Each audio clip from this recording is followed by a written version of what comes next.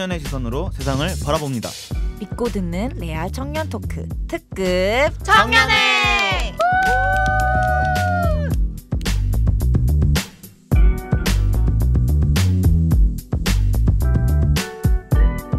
또 어렵게 육부를 시작해 보겠네요. 네 오늘은 바로 오늘은 좀 올- 우리가 벌써 6회잖아요. 그쵸 그쵸? 네 그래서 한번 좀 특별한 자리를 마련해 볼까 하고 영화를 해보면 어떨까 이야기가 나왔습니다. 그래서 오늘은 무슨 영화를 하죠?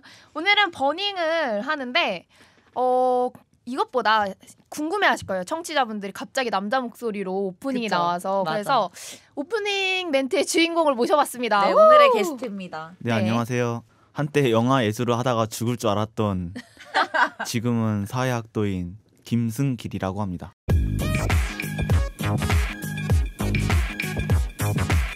어, 혹시 뭐 애칭이라던가 그런 거는 생각해 오셨나요?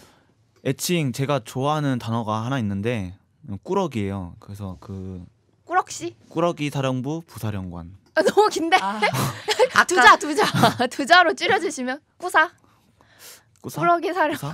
아까 애칭 안 쓴다더니 우리를 다 낚았어. 근데 저는 승길로 하는 게 좋아요. 아 그럼 제 승길로. 불러드리 네. 부르면 되겠네요. 네. 근황 토크 한번 들어가야죠 오랜만에. 네. 잘 지내셨나요 미진 씨? 저 진짜 왜왜 왜? 저 진짜 요즘 너무 바빠요. 그러니까 약간 반건조 오징어가 되는 기분입니다. 그리고 방건조 오징어 진짜 맛있죠.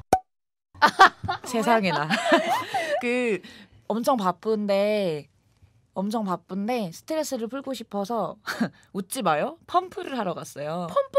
펌프 알아요? 이거 예, 탁탁 이렇게 DDR 오락실- 같은 거, 네, DDR. 오락실에서 그거를 가끔 하는데 펌프를 친구랑 하는데 몸이 너무 따가운 거예요. 왜 왜? 그래서 내가 야 나 너무 몸이 따가워 이랬더니 그게 독소가 쌓여서 몸에 독소가 쌓이면 너무 피곤해서 독소가 쌓이면 그게 땀으로 배출될 때 톡톡톡톡 뛰는 기분이 든대요. 그래서 내가 아 씨, 내가 일주일만 저 일주일만 참으면 되거든요.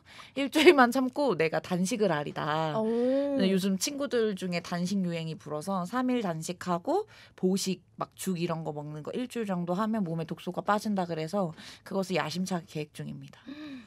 복잡하게 사시네. 그래서 지금 결론은 내 머릿속엔 단식의 계획밖에 없다. 아 은근 간단은 하네요. 네. 다현 씨는 어땠어요?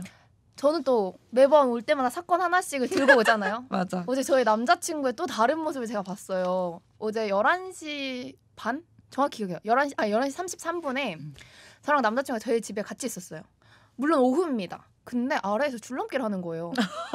근데 그 이게 우리가 원룸에 살다 보니까 아래 주차장이란 말이에요. 아. 줄넘기까진 괜찮아. 근데 이 남녀 둘이서 엄청 서로 사랑의 대화를 나눌 거 아니에요. 막 뭐 얘기하고 웃고 그게 너무 시끄러우니까 더워서 문을 열고 창문을 열고 있는 상태에서는 그게 엄청난 소음이에요. 근데 그게 오후 11시 30분이라면 더 말할 것도 없잖아요.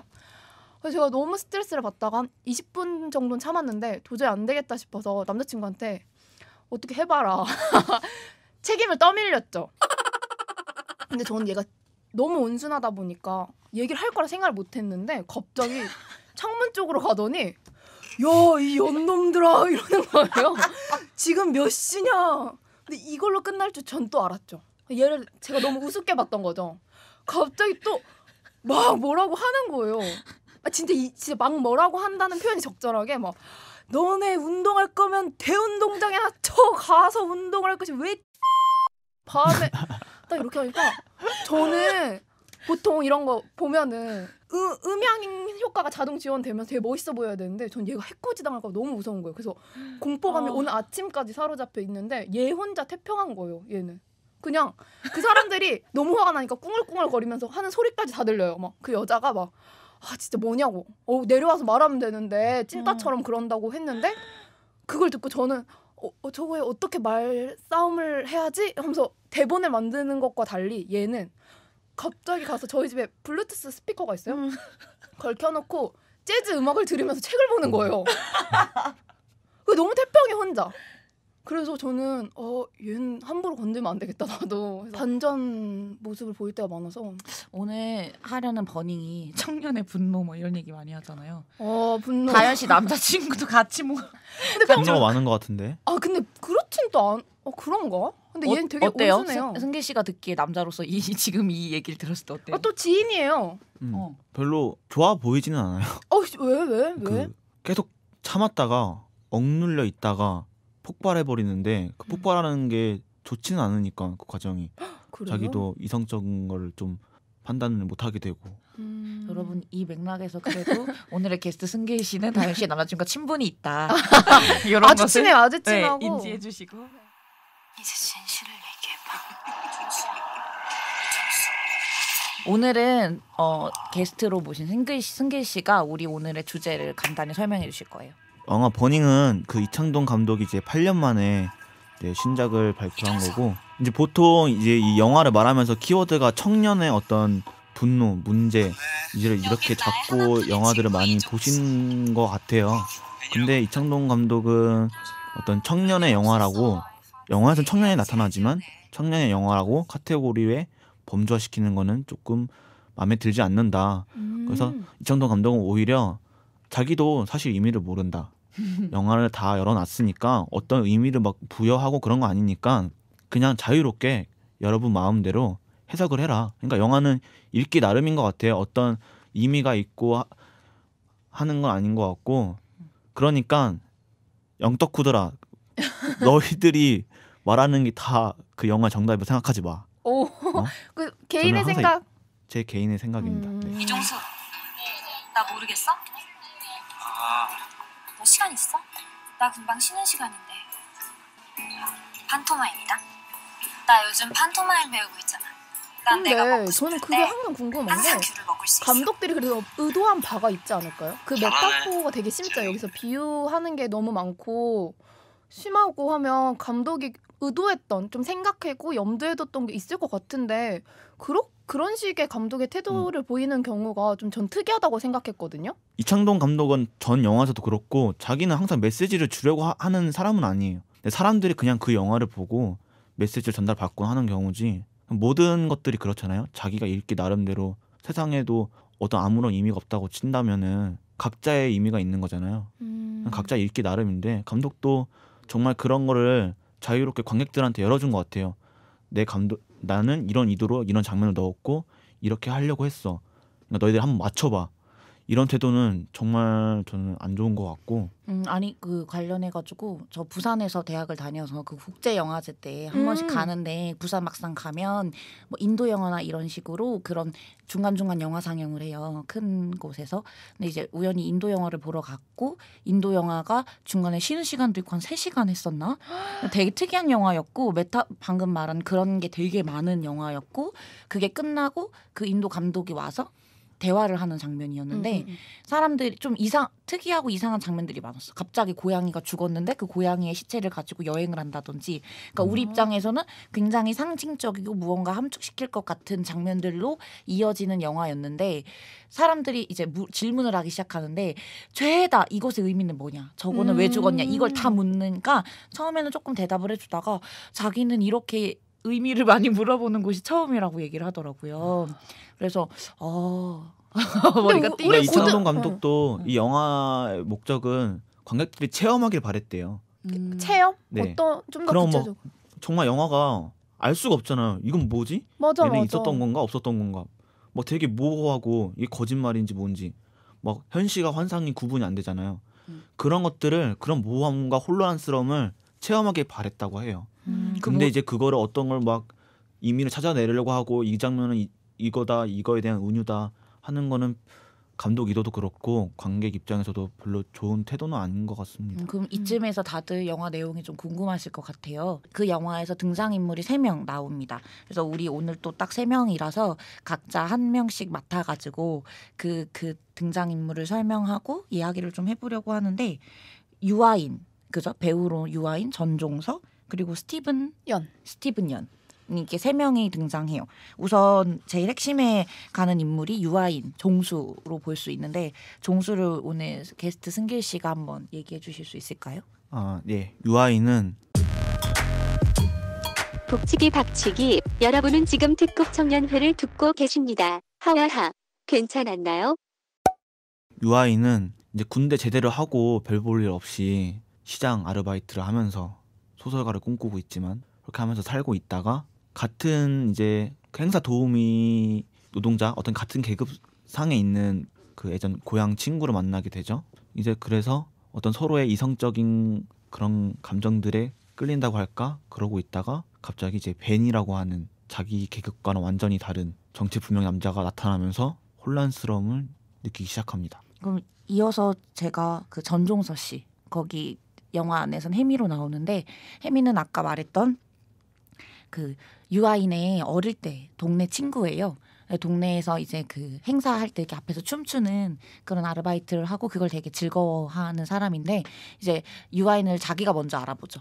그래서 그때 적극적으로 아는 척을 하고 저녁에 술도 한잔 하면서 본인 본인의 그 자유분방하고 특이한 자신만의 세계를 어, 유아인에게 바로 노출시켜요.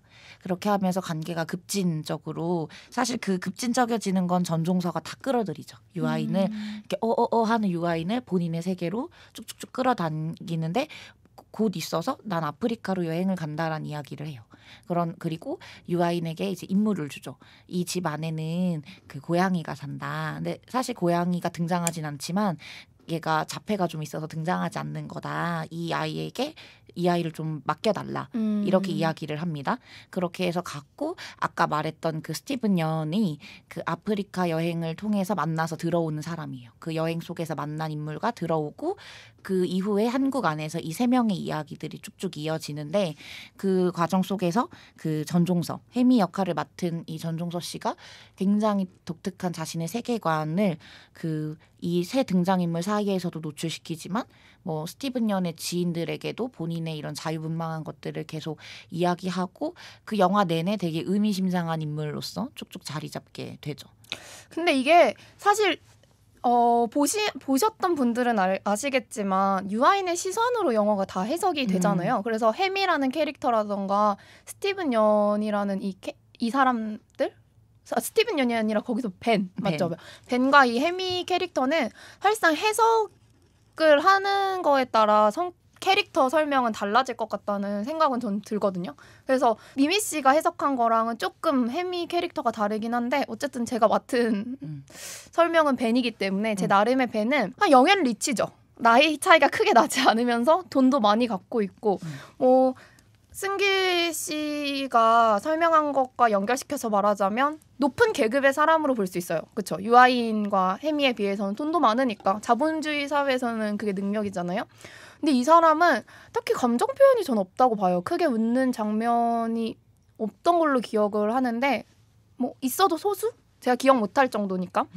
그리고 사실 말도 많이 하지 않지만 핵심은 영화 흐름상 뭐 헛간을 태운다? 아, 헛간 음, 헛간이 아니라 비닐하우스. 음. 비닐하우스를 태운다고 하면서 그냥 종, 유아인한테 어떠한 뭐 메시지를 준다고 해야 되나? 생각할 매달릴 무언가를 준다고 저는 생각을 했어요. 그래서 너의 소중한 뭔가를 태울 거야라는 이런 의미로 저는 받아들였고 그래서 영화의 사람들마다 해석은 다르지만 해미를 죽인 거다 아니다라는 설명 속에서 저는 소중한 무언가를 태웠다에 해미를 태웠다 해미를 죽였다로 해석을 하- 해서 살인마로서 저는 해석한 사람이거든요. 근데 이것도 진짜 해석이 달라서 나중에 뒤에 있는 장면 설명에서 좀 더 구체적으로 얘기해 볼 부분인 것 같고 제가 설명할 수 있는 벤 캐릭터는 진짜 딱 한마디로 영앤 리치 그리고 음. 감정이 없는 사람 정도인 것 같아요. 나 곧 아프리카에 간다. 아프리카에? 왜? 그동안 열심히 돈 모았거든. 님들은 다 뭐야? 아, 파주 집으로 이사 가는 중이야. 우리 사실상 이게 설명을 맡은 게 각자 좀 비슷한 사람들이잖아요. 물론 전 영앤 리치는 아니지만 그래서 좀 좀 더 자기가 해석한 캐릭터를 좀 더 드러내줄 수 있는 게 있을까요? 저는 좀 승길 씨가 유아인 전 버닝 보면서 승길 씨 좀 생각나기도 했고 해서 좀 아 그래요? 예. 왜요? 아, 그, 그냥 생각나더라고. 음, 저는 일단 뭐 유아인 그 캐릭터를 종, 종수 맞나? 종수를. 읽어내려고 하진 않고 그냥 그 친구를 따라가봤죠. 그 친구 서사를 따라가봤는데 따라가보다가 이제 그 그런 장면이 있잖아요. 그 곱창 전골에서 전골집인가? 초반에 초반에. 네 처음에 이제 세, 명, 세 명이서 만나서 이제 술을 술자리를 끝내고 이제 집에 가려고 하는 장면이 있어요. 이제 근데 이제 벤은 포르쉐를 끌고 왔고 그리고 유아인은 그거 일종 똥차 트럭을 이제 끌고 왔는데. 뭐그 제가 보기에는 혜미는 좀 머뭇거렸던 것 같아요. 거기서 유아인도 이제 머뭇거렸고 제가 만약 유아인이었으면 같은 이제 유아인의 생각 그 행- 영화에서 유아인의 생- 행동과 제 행동도 비슷하게 나타 나타나는데 그게 뭐냐면은 굳이 혜미가 어느 차를 타겠다고 한 것도 아닌데 먼저 유아인이 포르쉐를 타라고 해요. 그러니까 저 차를 타고 가라. 음, 그럼 안 돼. 네. 내 차가 부끄럽다는 거죠. 거기서 어떤 상대적인 경제적 차이에서 오는 그 무력감들 그런 것들이 계속 느껴지더라고요. 그러니까 예전에 제가 학생이고 아직 학생이고 직장을 다니는 분을 만났었는데 항상 그런 생각을 했어요. 항상 이제 만나면서 이제 서울에서 이제 노는데 아 이 사람이 다니는 직장에서는 남자들이 차도 있고 뭐 사원증도 목에 메고 다니고 막 어 막 어른스러운 대화하고 그럴 텐데 우리는 어디 갈 때 뭐 지하철 타고 다니고 전철 타고 다니고 뭐 비싸봐야 뭐 뚜벅이, 픽해봤자 막 그냥 뭐 2만 원대 초반 막 후덜덜덜 거리고. 그래서 막 한 번은 제가 그 친구들 그, 그 여자친구한테 그런 얘기를 했었어요. 너 나한테 말만 하면 되는 거니까 다른 뭐 맞선이나 뭐 소개팅 직장인들 오, 오게 되면은 음, 한번 만나봐라. 음. 나한테 말만 해주고. 근데 저는 그때 그게 그거를 그냥 자유연애, 그냥 어떤 개방성, 이 사람을 구속하지 않겠다라고 좀 쿨하다고 생각을 했던 것 같은데 지금 생각하면은 그냥 무력했던 것 같아요. 자신 자신 네. 없고 자신이 없으니까 그냥 그 무력함을 약간 쿨한 척으로 좀 음, 포장하려고 했던 그렇 그랬던 것이지 않을까라는 생각이 좀 들더라고요. 음. 그 유아인도 마찬가지로 그랬던 것 같아요. 쪽팔린 거야 나는 이 트럭에 태우는 게 포르쉐가 앞에 있으니까. 근데 그럼 저거 타 뭔가 쿨한 척하면서 동시에 무력감을 표출하게 되는 음. 그런 의미에서 유아인이 좀 많이 공감이 됐습니다.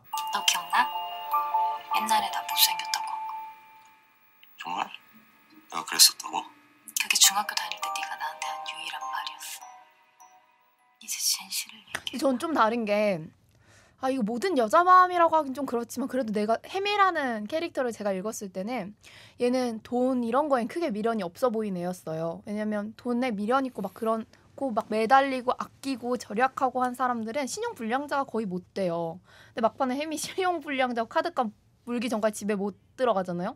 이런 걸 고려해 보면 어 아니 엄청 서운했을 것 같아. 그러니까 어, 확 휘어잡는 남자를 되게 그리워할 때가 있거든요. 그래서 저도 가끔 남자친구한테 뭐 먹을 때 다네 이거 먹을래? 이렇게 물어보지 말고 다네 이거 먹어 이런 식으로 극단적으로 표현하면 이랬으면 좋겠다 이런 생각이 들 때가 있는데 전 사실 그럴 때가 결정적이라고 생각하거든요. 내 차가 뭐 똥차든 뭐든 상관없이 그냥 혜미야 나 내 차에 타 내가 데려다 줄게 이 표현은 다른 말로 하면 난 널 좋아하고 그러니까 내가 너를 책임지고 싶고 너의 안전을 어느 정도 너의 집 앞까지 데려다 줄게 어 이렇게 말하면 되는데 쟤는 왜 안 그러지? 그리고 둘이 사귄다고 보기엔 좀 애매한 상황이잖아요 음. 그러니까 더 그런 걸로 확신을 가질 수 있는 상황인데 어 나를 좀 안 좋아하나?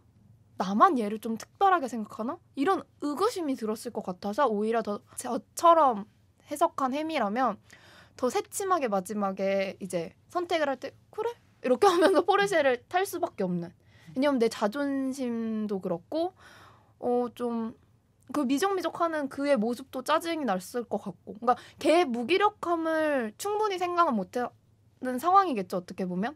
하지만 나는 내가 생각하는 혜민 그래요. 특급 청년회 잘 듣고 계신가요? 청주 KYC 정미증 활동가와 청주 노동인권센터 이다현 활동가가 진행하는 MBC 충북 라뷰 청년 콘텐츠 특급 청년회 청년이 바로서야 이게 나라죠.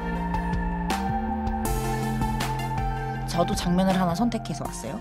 그, 그 중반부를 넘어가면서 영화가 그 중간에 셋이 그 유아인이 있는 시골집으로 찾아가요.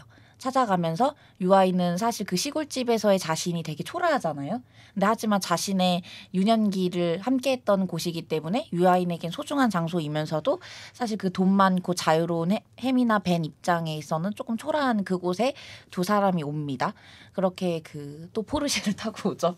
그런데 이제 그곳에 와가지고 뭐 이렇게 시간을 보내다가 대마를 피게 돼요. 대마를 셋이 나눠 피게 되는데 대마를 나눠 피면서 이제 셋 다 약간 정신이 어 이렇게 약간 몽롱 어. 몽롱해지고 혜미는 난 대마를 피면 웃음이나 이러면서 막 대마를 피고 거기서 유아이는 대마를 처음 피고 배는 대마에 익숙한 사람이고 근데 혜미가 대마를 피다가 막 웃기 시작하더니 갑자기 나가가지고 이렇게 이렇게 옷을 벗습니다. 그래가지고 속옷까지 다 벗죠 윗, 윗 옷을 그러면서 그 혜미 특유의 자유분방한 모습을 다 드러내. 대노빠 여긴 나의 하나뿐인 친구 이종수 그 영화 속에서 혜미는 판토마임을 좋아하는 꼭 판토마임을 하는 사람으로 나오는데 판토마임으로서 보이기도 하고 희한한 춤 무슨 부족장의 춤 같이 음, 음, 보이는 음. 그게 근데 거기서는 무슨 춤이었죠?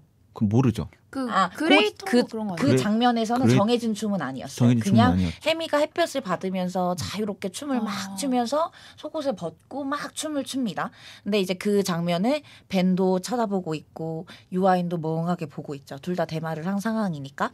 근데 그러다가 갑자기 또 혜미가 막 자유롭게 춤을 추다가 뒤를 탁 돌아봤는데 벤과 유아인이 있었고 갑자기 또 막 눈물을 흘려요. 굉장히 감정을 있는 그대로 어떤 저기도 없이 다 드러내고 그 다음 장면은 저기 쓰러집니다. 걔가 쓰러진 그 나체 나체 하 하의만 입은 그 친구를 이렇게 막 끌으면서 오고 배는 막 낄낄낄낄 거리면서 오는데 유아인은 너무 심각한 거야. 왜냐하면 자기가 좋아하는 여성이 상의 탈의해가지고 쓰러졌으니까 그그 가슴 가슴 쪽 부분을 이제 유아인이 잡고 다리 부분을 벤이 잡아서 집으로 옮겨가지고 재웁니다.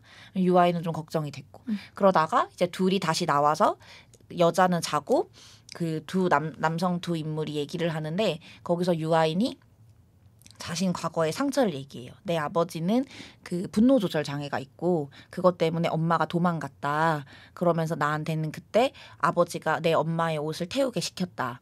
라는 이야기를 하면서 본인의 상처를 얘기했는데 아까 다미가 얘기한 것처럼 배는 좀 되게 그런 감정이 없어 보이기도 하고 그런 음. 인물이잖아요. 그 얘기를 들으면서 갑자기 자기 취미 얘기를 하는데 비닐하우스를 2개월에 한 번씩 태운다. 불법이긴 하지만 내 취미다. 이러면서 음, 음, 이- 그런 이야기를 하면서 둘이 그런 의미심장한 얘기를 하고 나중에 이제 그 포르쉐를 또 타고 음, 음. 벤그 유아인과 아 유아인이 아니라 포르쉐를 타고 벤과 그 종 그 여자 혜미가 집을 돌아가는데 갑자기 거기서 혜미한테 유아인이 그러죠. 어, 갑 되게 약간 싸늘하기도 하고 무덤덤하기도 하고 벌벌 떨리는 듯한 목소리로 혜미한테 그렇게 얘기합니다. 너는 아무 남자 앞에서나 옷을 벗나와? 그러지 마. 그건 창녀나 하는 짓이야. 라고 얘기를 하는 그 순간 혜미의 표정이 쫙 바뀝니다. 그 그동안 유아인이가 됐든 벤이 됐든 자신의 자유로운 모습을 있는 그대로 내비치다가 갑자기 표정이 싹 바뀌면서 포르쉐를 타고 둘이 나갑니다. 그리고 그 이후부터 저는 제가 이 장면을 꼽은 이유는 이 장면으로 저한테는 모든 영화 그 영화의 관점이 저한테 다 바뀌는 순간이 되거든요. 저는 그때 유아인이 자기 그 여자 주인공한테 그 말을 한 순간 그 본인 아까 말했던 그 경제적으로 가진 열등감이든 분노든 거기에 유아인이 잠식됐다고 봐요. 그래서 그 순간을 기점으로 막, 막 갑자기 이야기가 이어나가면서 뭐 유아인은 그 남자 주인공이 태우려고 하는 비닐하우스가 무슨 비닐하우스를 비닐하우스인지 찾는 것에 집착하기 시작하는데 저도 담이랑 동일하게 그게 그것이 해미를 의미한다고 봐요. 그 비닐하우스가 진짜 비닐하우스가 아니고 해미를 얘기하고 그 두 달에 한 번씩 갈아치운다는 게 해미를 불태우겠다. 그것이 육체적으로 해미를 죽였는지 혹은 관계나 심리적으로 해미를 죽인 건지는 잘 모르겠는데 어 그런 그런 지점 기점을 탁 던짐으로써 유아 유아인이 거기서 비닐하우스를 미친 듯이 찾다가 갑자기 또 해미를 찾다가 막 이래요. 그 그래서 원하는 장면이 지금 엄청 많이 나온 것 같은데 내가 봤을 어, 때는 나는 내가 말하는 장면은 핵심 그, 장면은 그 그거예요. 창녀 딱 그 발언한 그 음. 상황 어, 그 장면 장면 인데 그 장면을 말한 이유를 설명하고 있는 거예요. 음. 그러니까 혜미는 사람을 해석했지만 음, 음. 나는 그그 영화 있는 그대로의 맥락을 전해주고 싶었던 거예요. 음. 어 그래서 그 이후에 쭉쭉쭉쭉 찾아나 나는 사실 그 인물에 대한 해석은 안 하고 싶거든요. 이 아, 여, 해미라, 영화에서. 해미라는 어. 그 특정 인물 응, 그러니까 음. 뭐 다미는 해석하고 싶은 거고 나는 이제 그냥 전달해주고 싶었던 건데 나는 그, 지, 그 기점으로 그렇게 찾아 헤매는 과정들을 통해서 그 영화를 해석했죠. 그때 혜미가 무슨 기분이었을까 라는 게 좀 궁금해요. 그러니까 그 말을 들었을 때 딱 창녀라는 어. 말을 내가 좀 특별하다고 생각한 상대방한테 직접 들은 거잖아요, 그렇죠? 어, 그치. 음. 나의 있는 그대로의 모습을 항상 꼿꼿이 보이던 혜미였고 그 영화 속에 다른 장면들도 나오지만 혜미가 뭐 남들이 어떻게 본다고 해서 지 모습을 안 티내는 애가 아니거든요. 근데 그러다가 유아인은 그거를 탁 그렇게 말했어. 그건 네. 창년하는 짓이야 이렇게. 근데 저는 그때 해미 해미를 궁금해하셨잖아요. 어떤 네. 느낌이요? 근데 유아인 입 잘하잖아요, 승기론 네. 씨가. 그래서 그때 그런 발언을 한 유아인 어떤 심리인지 우선을 듣, 우선 듣고 어, 해미 생각을 좀 해봐요. 같아요? 유아인 왜 그런 말을 했을까요? 우리의 종수는. 유아인의 입장에서는 일단은 그 이식, 이식을 하든 무의식적으로든 응, 응. 내 여자인 거지. 나 내, 내가 어. 좋아하는 여자가 그런 어, 건가? 내가 좋아하는 여자가 정말 단순하게 생각해서 내가 좋아하는 여자가 그렇게 어떤 뭐 길 한복판은 아니지만 다른 낯선 남자 앞에서 자기들 앞에서 옷을 벗는다는 행위가 사실 규범적으로 정상적인 행위는 아니잖아요. 근데 우리 창녀라는 단어는 너무 충격을 주잖아요 상대방한테 그래서 우리가 화를 낼 때도 단어는 가려서 하는데 왜 창녀라는 극단적인 표현이라고 전 생각해요 그런 표현까지 쓰면서 걔는 말할 수밖에 없던 걸까요? 왜 그랬을까? 나는 유아인이 스스로 그 창녀라는 용어 자체가 줬던 의미보다 유아인이 자신의 분노를 그렇게? 컨트롤하지 못했던 것 같아. 그러니까 좋은 방법으로 소통하는 것이 아니라 왜냐하면 나는 창녀라는 말을 아빠한테도 들어봤거든요. 에? 되게 놀랐죠. 이렇게 왜, 왜, 들으면 왜? 띠용하지만 맥락으로 들으면 유아인과 조금 비슷했던 것 같아. 그러니까 내가 어릴 때 나는 립스틱을 진하게 바르는 걸 좋아하고 그게 잘 어울린다고 생각해요. 나도 나 좋아 그리고 이제 짧은 치마를 입는데 요즘 뭐 여성과 관련된 성 문제, 성폭력 문제가 많잖아요. 그러니까 아버지는 그게 불안한 건데 자신의 감정과 이런 것들을 제대로 소통하는 방법을 모르니까 나한테 창녀 같다고 얘기를 하는 거예요. 내가 그러고 이제 밖을 나가는데 그러고 아빠도 놀랬어. 자기가 그 말을 하고 뜻했어. 아, 그, 아, 자기도 그 말로써 나를 통제할 거라고 생각하지 못했던 거지. 너 그렇게 음. 입술 빨갛게 바르고 다니면 창녀 같다고. 근데 그 이후로 아빠는 어, 단한 번도 나에게 그 얘기를 하지 않았거든요. 근데 아빠도 놀랬겠지. 그런 식으로 약간 난 통제의 기제로서 느껴졌었는데 음. 어 아까 승기 씨가 얘기한 것도 약간 비슷한 느낌을 주는 것 같아. 그럼 혜미, 혜미는 어떤 느낌이었는지 그냥 단편적으로 보면 너무 뻔하지 않나? 내가 좋아하는 사람이 나한테 이런 말해? 그리고 약간 혜민이 좀 특별하잖아. 어, 뭐그 어떤 삶의 어떤 의미를 찾으려고 하는 친구인데 그거 드러난 몸으로 어떤 뭔가를 말한 거잖아요. 몸으로 아. 자기는 뭔가 어떤 자기 감정을 말하고 한 건데 그리고 생각을 해보면은 남 여자가 가슴을 노출하는 건 왜 안 되지? 라는 또 생각을 해볼 수도 있겠죠. 그치 그치 그렇네요. 네, 그? 어떤 화장하는 그런 것 좀 연결시켜 봤을 때도 좀 음. 어떤 계속 여성을 가슴을 드러내놓고 하는 것들을 어떤 계속 코르셋을 씌우려고 하고 하여튼 그 전종서는 자기만의 언어로 이렇게 자기 마음을 표현 표현을 한 건데 그걸 단순히 창녀 같다라고 창녀 같은 거라고 얘기를 해버리니까 마음이 되게 안 좋았을 것 같아요. 음, 나는 어떻게 느꼈냐면 난 사실 그 창녀라는 단어에 집착하진 않았어요. 그 장면을 보고 아. 나는 별로 안 중요했어. 근데 사실상 거기서는 유아인이 뭐 그 여자 주인공을 더 좋아하는 것 같기도 하고 너무 좋아하니까 그런 단어를 썼을 것 같기도 하지만 전종사로 하는 인물이 자신의 자유로움을 유아인에게도 처음부터 표출했고 음. 벤에게도 있는 그대로 다 표출했어. 벤이 돈이 있든 없든 사실상 그렇잖아요. 음, 음. 뭐 얻은 장면에서도 자기 자신은 자유로운 자기 자신을 계속 표현했고 근데 사실 벤은 어, 통제한 적은 없어. 그 음. 걔가 그렇게 하는 것에 대해서 너 이상해, 너 창녀야, 그렇게 하지 마 이런 걸 한 적이 없는데 유아이는 어, 마음속으로는 하고 싶었는지 아닌지는 모르겠지만 계속 안 해오다가 갑자기 전종서한테 그 장면으로 이렇게 탁 통제를 한 거야. 그러니까 본인이 가지는 자격지심이란 표현을 해야 되나?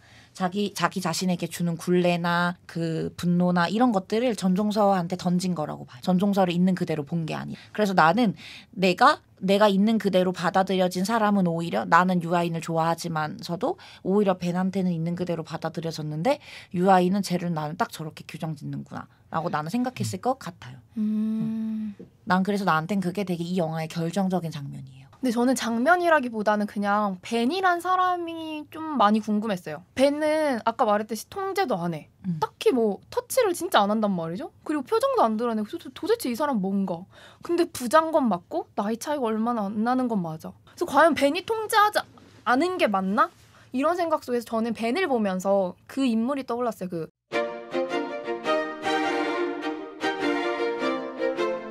여러분의 공감과 응원, 구독하기로 보여주세요. 스마트폰에서 팟빵 어플 설치한 후 특급 청년의 검색, 구독하기 꾹, 댓글 쓱쓱. 구독은 사랑입니다.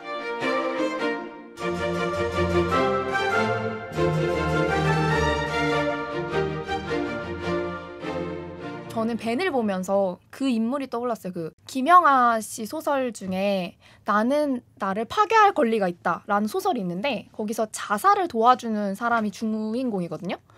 그 주인공이 벤이 아니었을까라는 생각이 들더라고요. 그러니까 악의적으로 누군가를 죽인다기보다는 자신은 그냥 직업적으로 스스로가 그걸 직업이라 생각하는. 자살할 만한 자살하고 싶어하는 사람을 찾아 나서고 그게 두 달에 한 번씩이고 왜냐 한 달씩 하기에는 혹 그러니까 그 시기를 좁히기에는 자살이란 행위 자체 어떻게 보면 큰 수 있잖아요. 스스로에게 충격이. 그리고 그걸 매일 수 있기 때문에 뭐 적당히 본 게 두 달에 한 번씩 사람을 죽이는 걸 도와주는 행위인 거죠. 스스로가.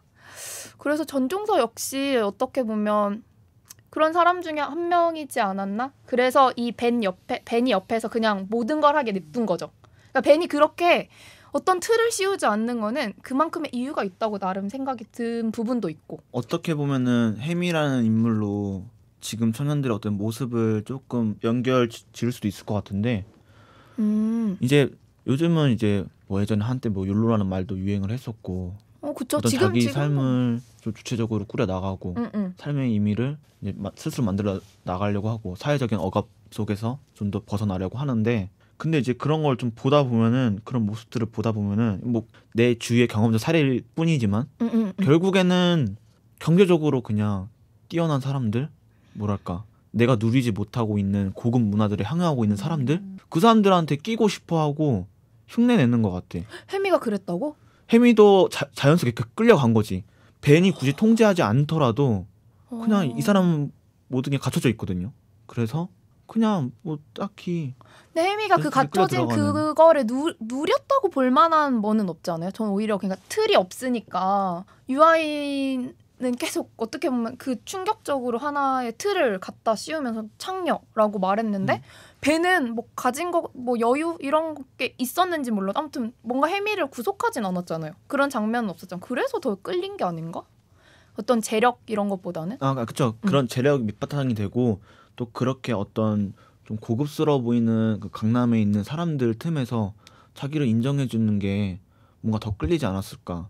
음... 그 영화에서 그 전종서가 아프리카를 왜 가냐라는 이야기를 하면서 great hunger랑 뭐가 나오죠? small hunger인가? small hunger. small hunger? 음. 아무튼 어떤 hunger의 두 종류가 나오는데 에, 물리적 경제적으로 그냥 가난한 사람과 자신 그런 사람이 만약에 small hunger면 그 자신의 삶의 의미를 음, 음, 음. 찾아 헤매는 사람이 great hunger고 그 great hunger가 진정으로 가난한 사람이래라는 이야기를 하면서 아프리카를 떠나요.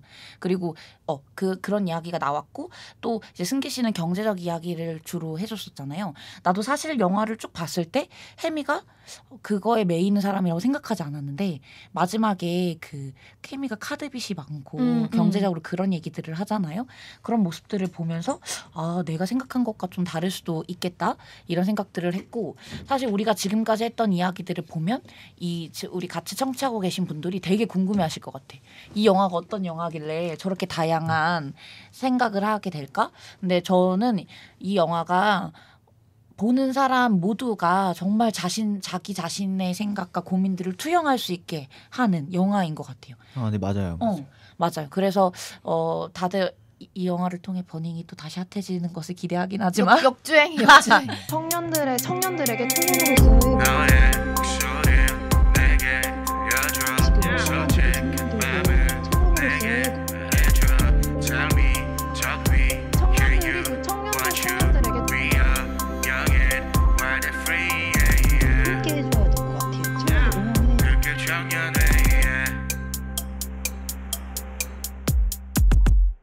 이 영화 전체를 보고 우리 오늘 같이 이야기했던 이 세 명이 이 영화 전체를 통해서 그냥 느꼈던 지점들을 한 번씩 얘기를 하면서 정리를 하면 어떨까 또 싶네요.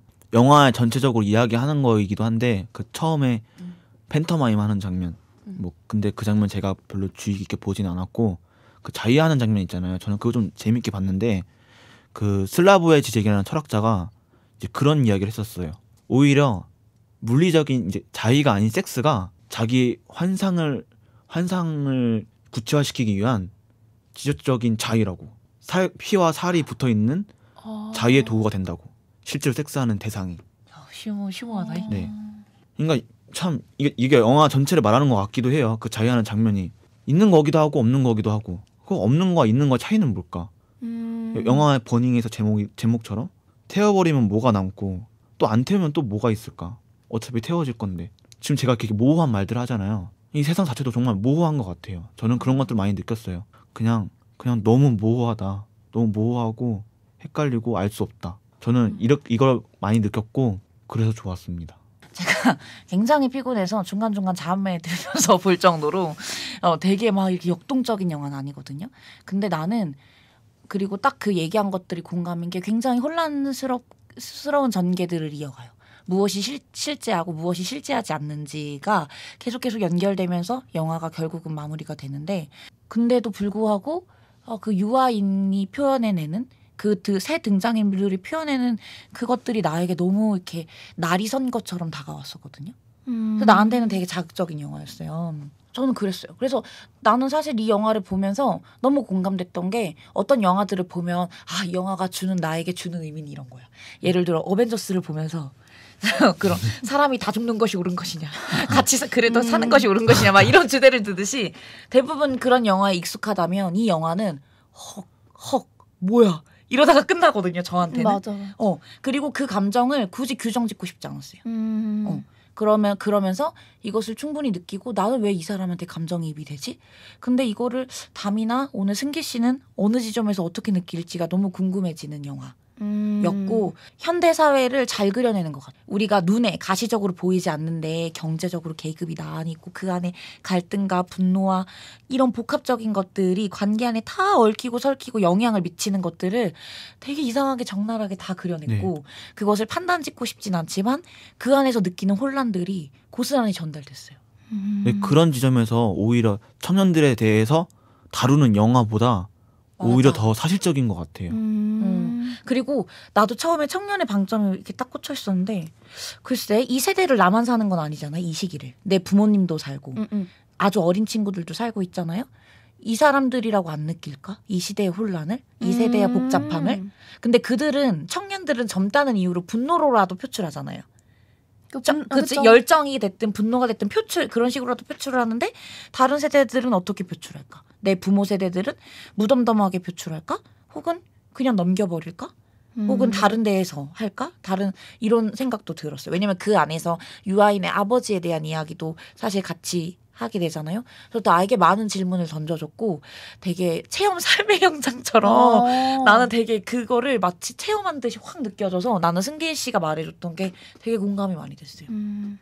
근데 저도 약간 비슷할 수 있는데 저는 어떤 느낌이었냐면 도화지에 있으면 도화지가 있으면 거기에 그냥 점을 하나 그려놓은 느낌인 거예요. 그러니까 말씀하신 것처럼 다양한 한국 사회를 담아놓은 건 맞아요. 그 공감이 가는데 사람이 경험을 하고 어, 체험한 것들에 따라서 이게 다르게 해석이 되는 음. 여지가 너무 큰 거예요. 진짜 맞아. 너무 커. 맞아. 그러니까 똑같은 영화를 봤는데 똑같은 동그라미 점 찍혀진 걸 봤는데 누군가는 뭐 쉽게 백지 음. 부분을 크게 볼 수 있고 누군가 이 점 하나에 엄청 민감하게 이걸 크게 볼 수 있는 거잖아요.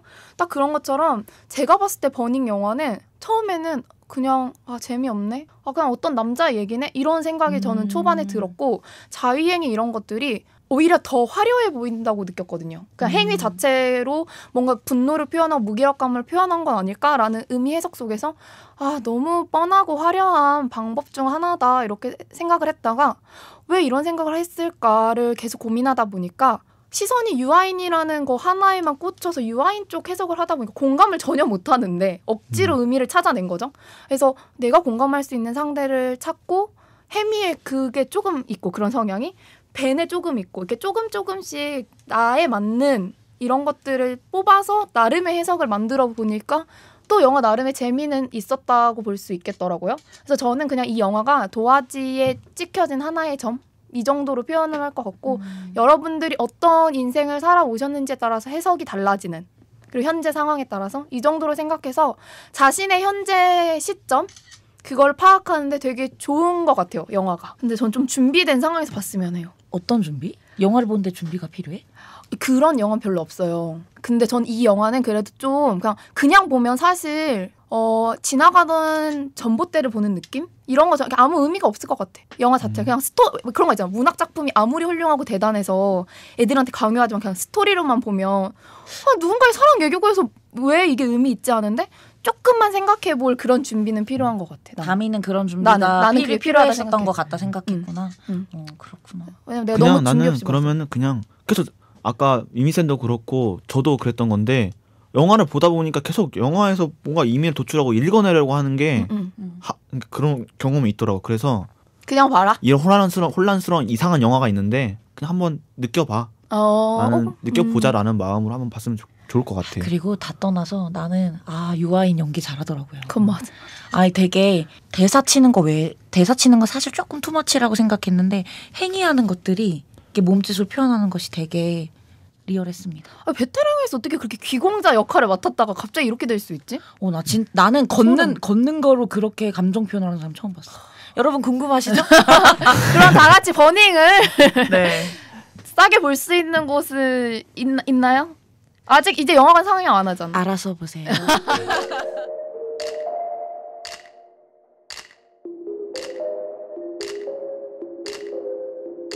네, 그럼 오늘 이쯤에서 마무리 해 볼까요? 네. 승기 씨 어떠셨어요? 팟캐스트 처음 네, 하시면서. 처음이고 응. 어, 말을 제가 제대로 하고 있는지 모르겠어요. 생각, 생각보다 떨리네요. 잘했어요. 아, 네, 감사합니다. 네, 여러분 영화 한 편 볼 여유 정도를 가지고 이거 너무 내 입장에서 말하나? 힘좀 내요. 영화 한 편 볼 여유를 가지고 또 6월을 잘 마무리. 아, 내가 뭔 소리란? 아, 아파서 이래요. 이분 잠을 못 자가지고 혼수 상태라. 그럼 제가 오늘도 마무리를 해보죠. 네. 자, 그럼 여러분 오늘도 돼지 꿈꾸세요. 오잉 오잉. 그 뭐- 뭐야? 우리 클로징이야. 돼지 꿈 보고잖아. 보- 보노잖아.